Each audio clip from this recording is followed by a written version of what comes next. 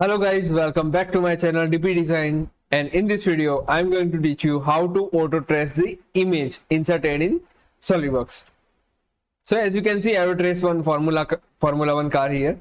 So how to do that I will tell you step by step. So let's make first uh, part then you can sketch over here.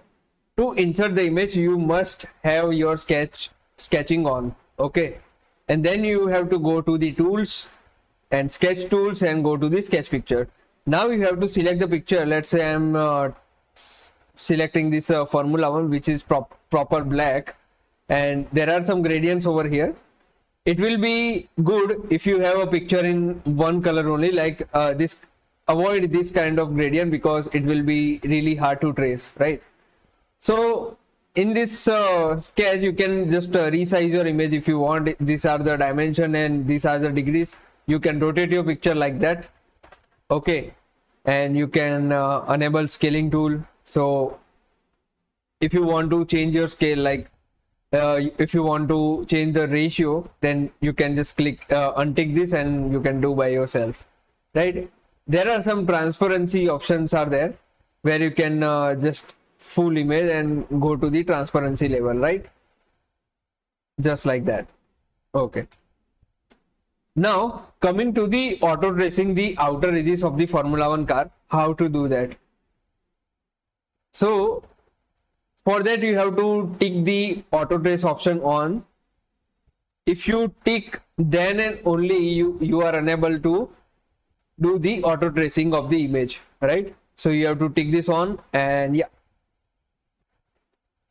we are ready and double click on it. Now this option will be there right? The arrow next. And you have to select. There are many different types of uh, selection tools. Personally i prefer the uh, select color by pin dropping. So pin drop i will do on uh, this color. Okay. And begin the trace. As you click begin the trace it will trace your image like that right but now you want accuracy. So how to do that? So in that uh, you can just uh, do do the preview setting. You can see the preview of the uh, trace. And now you have to control the parameters just like that. Image brightness. If i do the brightness like that you can see the curve how how it is getting traced. Now also you can control it by contrast as well